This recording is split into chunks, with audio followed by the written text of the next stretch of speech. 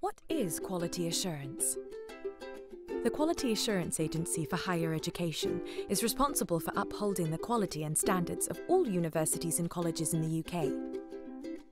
Quality is how well your university or college supports your learning. The teaching, the support available, the resources available, and how you are assessed. Standards, the level of achievement you need to succeed on your course and get your qualification. Standards should not vary from one higher education provider to another. Having quality and standards means everyone can have confidence in their degree and education.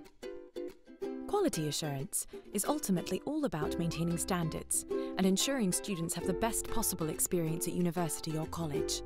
Getting involved means that your voice can be heard, and the views of students are made central to the process.